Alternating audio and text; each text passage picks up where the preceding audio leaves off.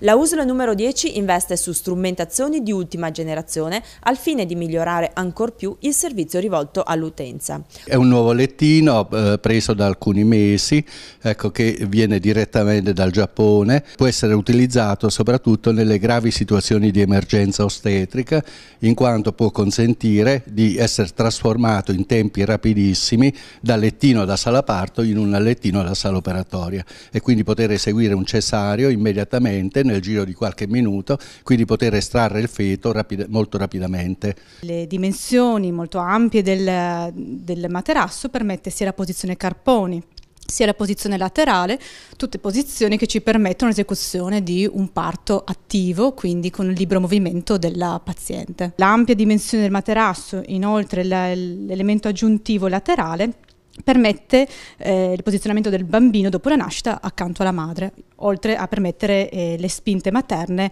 attraverso il maniglione. Ostetricia ginecologia avrà dunque due ecografi in 3D e un lettino per il parto modulabile. Stiamo vedendo in 3D eh, o in 4D il eh, piccolo, il feto della signora. L'utilizzo di queste macchine è innanzitutto per il 2D che ci permette di ottenere delle ehm, ecografie di elevata qualità e questo per la sicurezza non solo del, della paziente ma anche dell'operatore stesso che lavora con una certa tranquillità anche. La modalità 3D e 4D ci dà quell'input in più per ottenere una qualità migliore delle immagini in alcune patologie dove è strettamente necessario. Con questi nuovi acquisti, questi due, nuovi ecografi di ultimissima generazione e il nuovo lettino per i parti in emergenza fanno di questo reparto uno adesso dei più moderni dal punto di vista tecnologico a livello veneto ma anche a livello nazionale. Quindi